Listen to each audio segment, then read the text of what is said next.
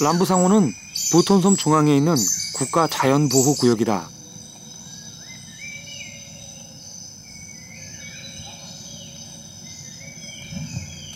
이른 새벽 숲에서 재빠르게 움직이는 놈들이 있다. 야행성인 놈들은 새벽에 잠자리를 찾아 모습을 드러낸다.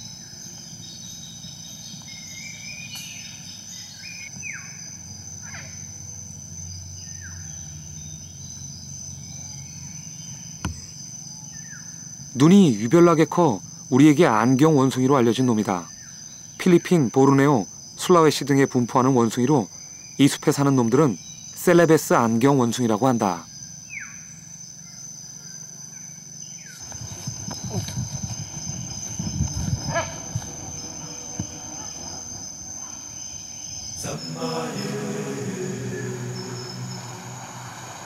날이 밝고 아침이 되면 주민들이 안도케라 부르는 마카카 원숭이들이 먹이를 찾아 깊은 숲에서 나온다.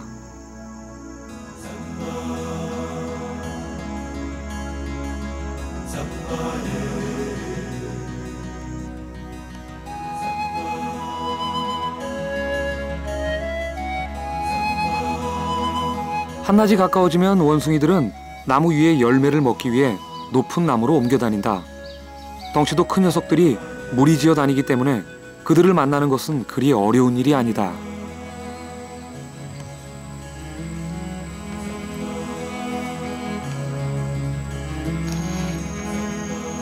안내원이 갑자기 숲을 가리킨다. 초록색을 띤 뱀이다. 나뭇잎 색깔과 너무 똑같아 한눈에 놈을 알아보기는 쉽지 않았다.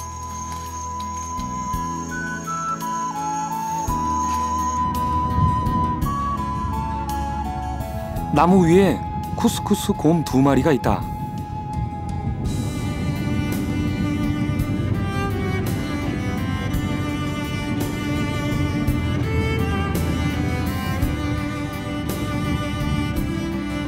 동작이 하도 느려서 처음에는 나무 늘보인 줄 알았다.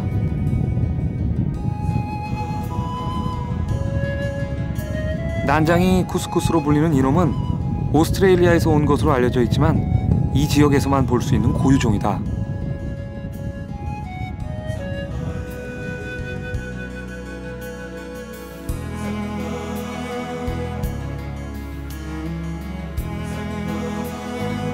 람부상호 숲에는 화산 활동으로 생겨난 동굴들이 곳곳에 있다.